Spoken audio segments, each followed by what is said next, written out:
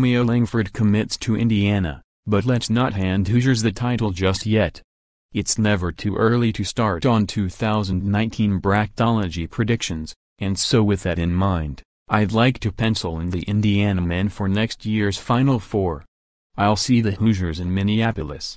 That's what everyone is already doing, right?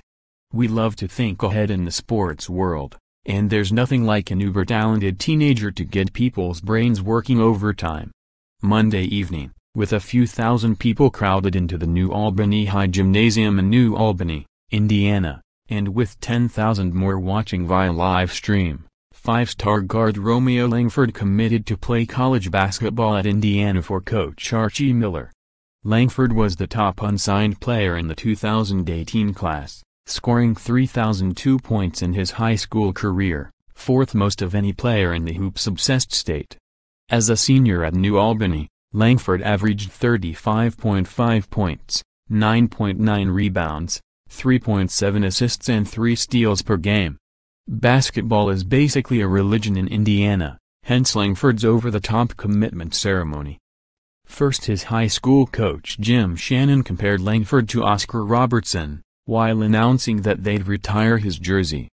Then his family pastor got up to praise Langford in number 39 semicolon S demeanor, at one point comparing him, from a character standpoint, to former President Abraham Lincoln. No word on who would win a one-on-one -on -one battle between the two towering figures. Then viewers were treated to an absurdly long video titled Romeo Langford, a once-in-a-generation player.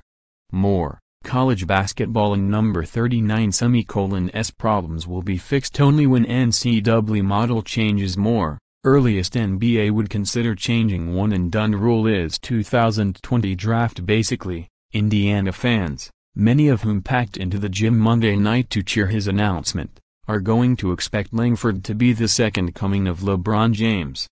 That is immense pressure to heap on the shoulders of an 18-year-old, even if he does stand 6'5 and 190 pounds. It's true that not that long ago, Indiana basketball belonged in the conversation with college hoops heavyweights like Duke, North Carolina, Kentucky and Kansas. But the Hoosiers have faded rapidly the last couple decades, partly because they struggled to keep in-state talent. When Miller arrived in Bloomington a year ago, it was considered a significant rebuilding project. Langford's commit can help expedite that rebuild.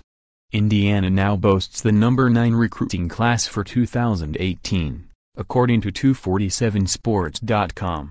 The Hoosiers will be a fringe top 25 team with this influx of talent and everyone will eagerly await Langford's impact on Indiana, and college basketball as a whole. It's eerily similar to how everyone couldn't wait to see what Michael Porter Jr. did at Missouri or what Markelle Fultz did at Washington.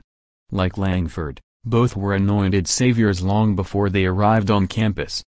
Everyone expected them to lead their respective teams to new heights. As it turned out, neither walked on water.